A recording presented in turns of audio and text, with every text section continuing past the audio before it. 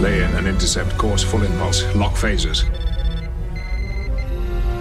We are closing, sir. Within phaser range in 30 seconds.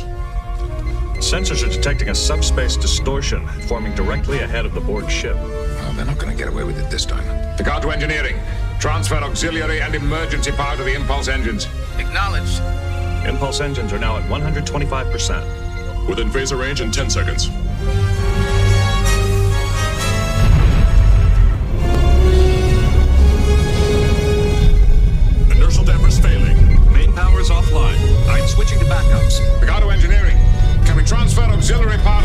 Nacelles? Try to break us out by using the...